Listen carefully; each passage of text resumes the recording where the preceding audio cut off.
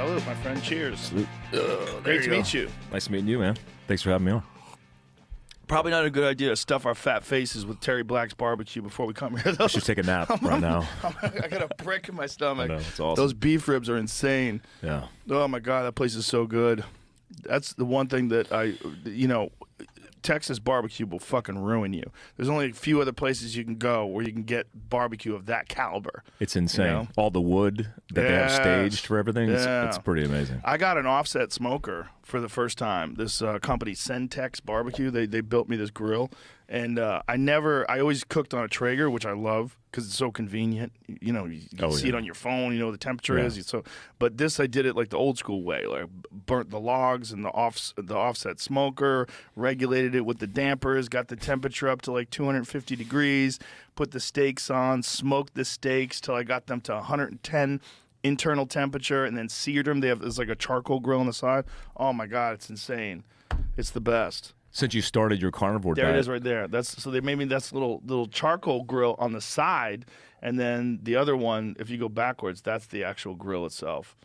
That guy did a fucking tremendous job. It's like a real work of art. It's, Oh, hell it's, It's incredible, uh, like just the craftsmanship. what's it called? Gin? Centex, Centex. Central Texas, Yeah. Central Texas smokers. It's really, really super, super well done. How do you think elk would do on something like that? Oh, it does great. I, I Okay. cook elk on the Traeger all the time. I, mean, I don't think it'll be any different. I'm probably going to cook some elk on it tomorrow night. okay. So I'm, I'm excited. I might try that out. Yeah. So what's up, Mike Glover? What's up, man? nice Thanks for to meet having you me. finally. I've been following your Yeah. content.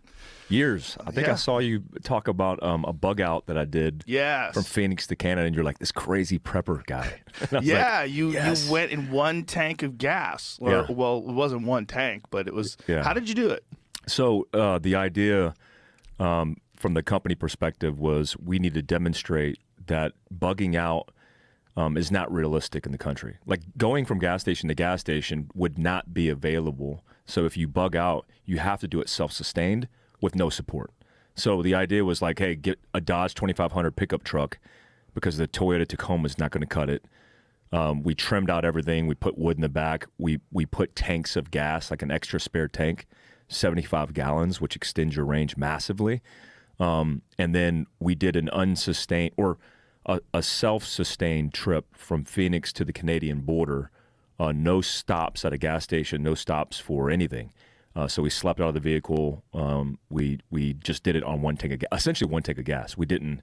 We had to run and prime fuel into the reserve from the reserve tank to the main tank, but it was just like to prove, like, hey man, this idea of bugging out from a bad situation to a better isn't really realistic. And With you- one tank of with gas. one tank of gas. So like if you have a hundred thousand dollar vehicle because you're like the overland bug out guy, and you have a quarter tank of gas, then you have a big lead weight that's just nothing. I mean, you burn it to the ground.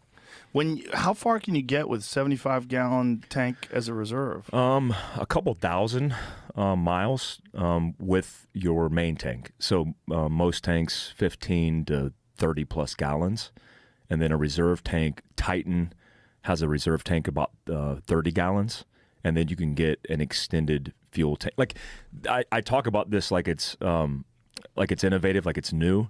But if you live in rural Montana or rural anywhere in America, you roll with a 75 gallon tank in the back of your pickup truck because you'll go, you know, 500 miles before you see the next gas station.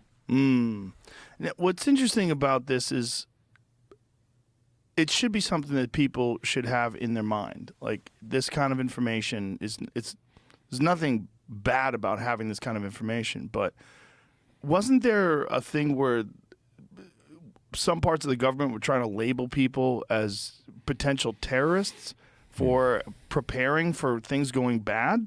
Yeah, that's yeah. There's a rabbit hole there. Um, first, anything on Facebook that was seen as extreme, think fringe, unique, think unique, different, then you were potentially labeled. So originally, um, we we teach canning and jarring at Fieldcraft Survival. I mean, my family preparedness director Amber uh, focuses on families, so Right. we teach canning and jarring. That was first flagged by Facebook and seen as um, extreme, and they even had a clip Canning and jarring. canning and jarring. That's extreme. That's extreme because if you're preparing, you're preparing for something, and if you're doing it domestically, then it potentially uh, could label you as a, a militant or a, mil- a militia or a violent extremist, as I was labeled by Facebook. But what is that? That's so crazy that like having food, like Food prep. Well, what if uh, there's a natural disaster?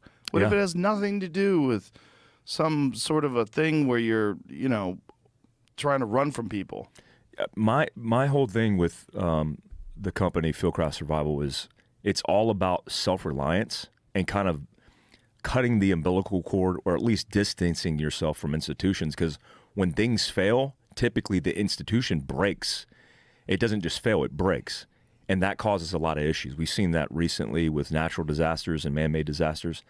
But the education behind it is just learn how to take care of yourself long term, short term and long term and that according to facebook at the time and now is uh, extreme How weird. so weird a weird world yeah and and somebody who came from the military like i fit all the things i'm a minority i'm asian i'm half korean um, i'm a veteran i'm 100% service connected disabled so i fit all the categories. What does that mean? 100% service connected disabled. so it means I'm. T- it's called total and permanent, which I am. It means I'm 100% disabled according to the Veteran Affairs Office, but also um, total and permanent, which means you can't.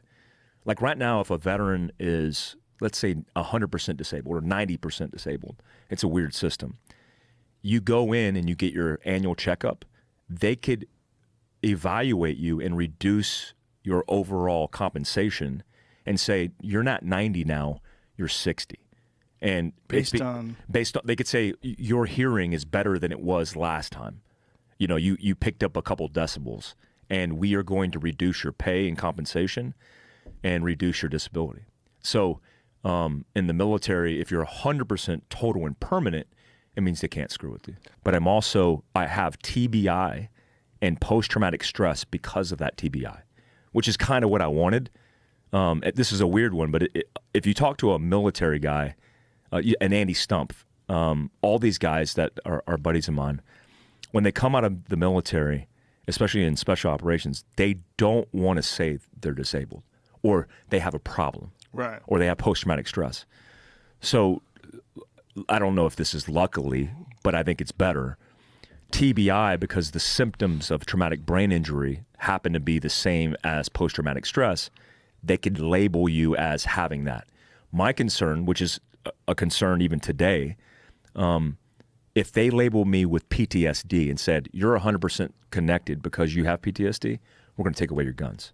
So the red flag laws oh. and all that scare the hell out of me